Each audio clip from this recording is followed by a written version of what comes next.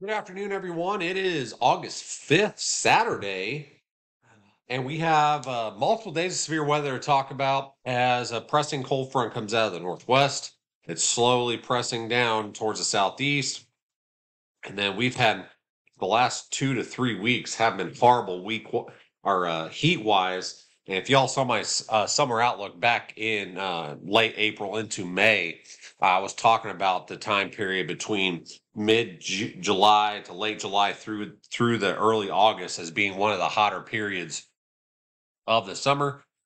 But on the other hand, click that click that like button, comment where you're from. We'd love to hear from you. And if you haven't subscribed yet, hit that subscribe button. It is free, and uh, hit all on notifications. So let's talk about all the severe weather that's coming starting later this afternoon into this evening. All right, as always, we like to start out with the current national hazards map across the United States.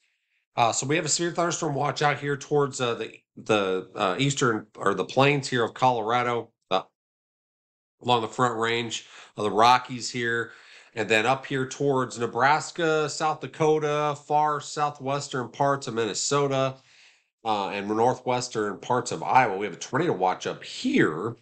Also, we've had a lot of rain down here through Missouri, parts of uh, parts of western Kentucky as well. Eight to twelve inches of rain over the past, uh, I think, three to four days down that way. Uh, so this, so we have some flood warnings, uh, flood advisories down that way as well. Then we get uh, the heat is starting to get beat down just a little bit. Uh, we do have an excessive heat warning, basically from I forty uh, from Oklahoma through Arkansas uh, over towards Memphis, south of there, and then heat, heat advisories in the orange here, going all the way up towards the boot heel of Missouri.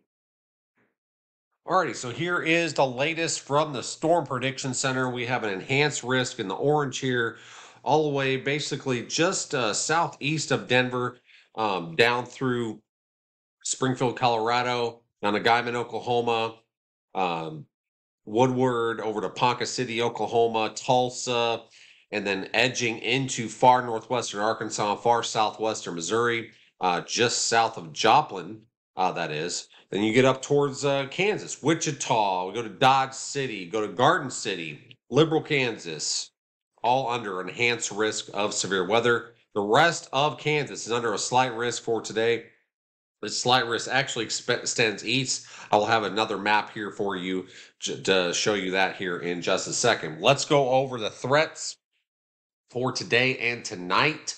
Uh, so the most concentrated area of severe thunderstorms with potential for destructive wind 70 80 miles an hour possible and hail maybe up to golf ball size is expected across parts of the southern south central great plains like I said, the remainder of this afternoon through tonight. There's also conditional uh, tornado threat up here towards Iowa, where you saw that tornado watch here just a few minutes ago. And there's another tornado threat over here towards Indiana as well. I'm going to show you that map here in just a second. As these storms rocket across the south central plains tonight, going basically through northern half Oklahoma here, all the way through Tulsa into northwest Arkansas, They'll slowly start dying out, but that's we have a we still have that slight risk threat all the way through northern half of Arkansas, all the way through Memphis, up to Jackson, Tennessee as well, and far southwestern Kentucky, southern Missouri as well, Poplar Bluff over to West Plains, Branson up to Springfield, Veda, Missouri uh, as well. And we do have, like I said, a tornado threat out here towards Indiana, over towards Indianapolis, Blooming, Bloomington, uh, just uh, right around Evansville, and uh, so that's that. Like I said, there is a tornado threat up here as well, up towards Iowa, western Iowa, and you saw that. Like I said, there's a tornado watch already issued for that part of the world. Then we can't forget about the southeast here. So we have, like I said, that slight risk just north of Little Rock here. We have a marginal risk out for Little Rock over to Hot Springs. And then east out towards Mississippi over towards Tupelo. This is all marginal risk out towards Nashville as well. Bowling Green, Kentucky, up towards, uh, like I said, Birmingham, Tuscaloosa, and then all the way down to Pensacola Beach. in Florida. This is for today. Here is the biggest risk across the eastern eastern Colorado, southeastern Colorado, that is, southwestern parts of Kansas, in through most of northern half of, of uh, Oklahoma, and uh, even down here towards Amarillo, Texas as well. Uh, these hatched areas means there's a probability of significant wind gusts greater than 74 miles per hour, which is hurricane force winds possible. So 70 to 80 mile an hour winds is possible later today and through tonight across this area in that black hatched areas. Now, some of these winds will extend past Tulsa in through uh, northern parts of Arkansas, southern Missouri late tonight, but they should not be as bad as that you will get over here towards Oklahoma and southern um, Kansas. There will be some still some damaging wind gusts of 60, 70 miles an hour possible across southern Missouri in through northern Arkansas here, and possibly getting all the way over towards uh, western Tennessee, towards Memphis as well. So let's get into tomorrow now. We're this uh, uh, severe weather uh, shifts east towards uh, St. Louis, over towards all of Kentucky, Tennessee, parts of Indiana, southern parts of Illinois, over towards uh, southern Ohio here, over towards West Virginia as well, along the spine Appalachians here as well. Uh, so widely scattered to scattered severe thunderstorms is expected tomorrow, Sunday, over parts of the mis- uh, Midwest into the Ohio and Tennessee Valley regions. Uh, probably the main threat will be gusty, damaging straight line winds, and uh, maybe some hail out there, and and uh, maybe an isolated tornado as well like I said at the beginning, this is going to be a multi-day severe weather uh, possibility all the way through Tuesday. Even I will show you that. But here is for Monday. Marginal risk basically from northeastern parts of Texas through southern Arkansas, northern parts of Louisiana, including Monroe, and over here towards Mississippi, Alabama, Georgia, all the way up towards uh, the mid Atlantic regions here. And we have a slight risk all the way from um, Tennessee eastern half of Tennessee, over towards eastern parts of Kentucky, all of West Virginia, up here towards Pennsylvania as well. And this is uh, bleeding into parts of New York and New Jersey, and then parts of Virginia um, as well, and up here towards Washington, D.C. So it looks like maybe Tuesday there's going to be a little slight break of severe weather, but then Wednesday it picks back up, back up towards midweek uh, basically for the Ozarks, northern Arkansas, most of uh, central to southern Missouri, northeastern parts of Oklahoma, southeastern parts of Kansas, bleeding up towards St. Louis as well, southwestern Illinois, into uh, far western Kentucky, and into northwestern parts of Tennessee. So this is for Wednesday. Already a slight risk out uh, for this area like I said, this is for Wednesday, August 9th.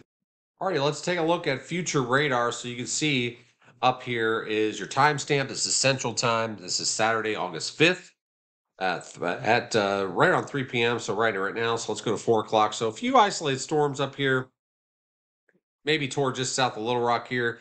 And then here's the here's where that tornado watch is up here towards Iowa.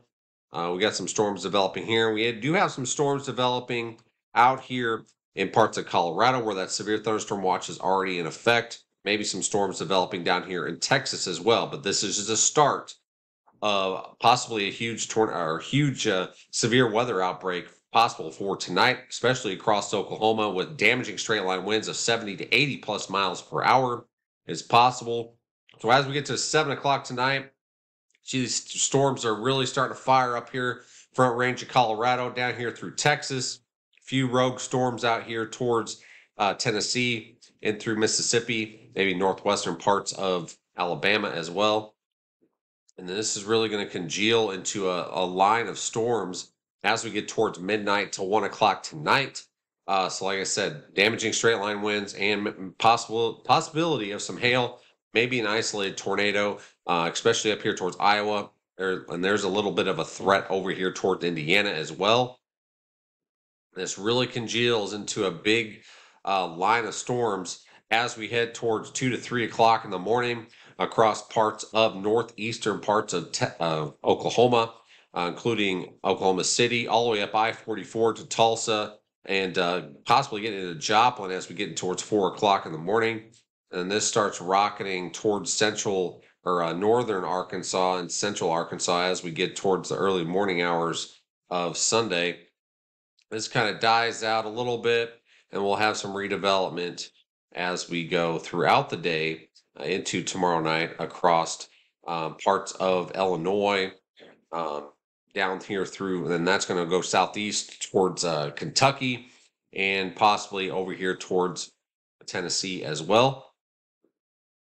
And then more storminess uh, for Monday night or mo- early Monday morning uh, through Monday, uh, some most of Monday through uh, northern and central Arkansas, through Oklahoma again, and then getting through Mississippi into parts of Tennessee. So the welcome relief there, but Texas is still going to be baking this week as well as the front will does not make it into that part. But a lot of us through the central, uh, south central parts of the United States over towards the southeast will get a little bit of a break this week.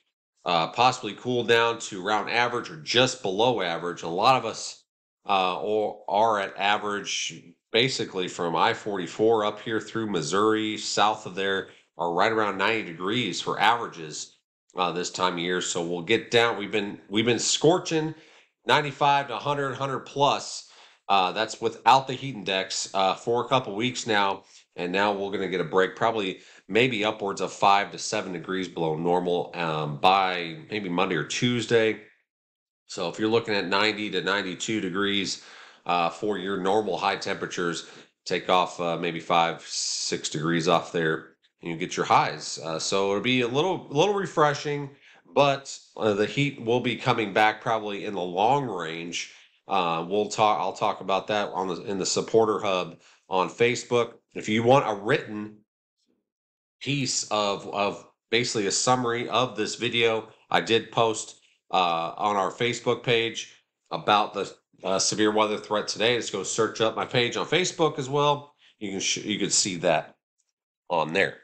All right, guys, uh, that's all I have today. Please stay weather aware. There's to be some dangerous straight line winds come through parts of Oklahoma and Kansas tonight, bleeding into parts of Arkansas as we get into the morning hours of Sunday. And the severe weather threat really, really uh, lingers all the way through the middle of next week. Thank you all for watching. If you haven't subscribed, hit that subscribe button hit that like button and uh, comment where you're from. We'd love to hear from you. Thank you all for watching. Stay safe, everyone.